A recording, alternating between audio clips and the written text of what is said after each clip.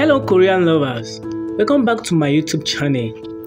In the new drama My Demon, sparks are flying between Song Kang and Kim Yoo-jung. Fans can't get enough of the attention between these two characters and many are convinced that they could be more than just friends. Could this be a new on-screen romance in the making?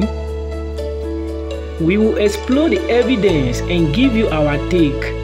So, sit back, relax, and get ready for a rollercoaster ride of emotions. So, do you think Song Kang and Kim Yoo-jung are more than just friends? Or is this all just wishful thinking on the part of fans? We will just have to wait and see how the drama unfolds. In the meantime, we'll be bringing you all the latest update on this, this fascinating story. So kindly subscribe to our channel for more Korean latest news.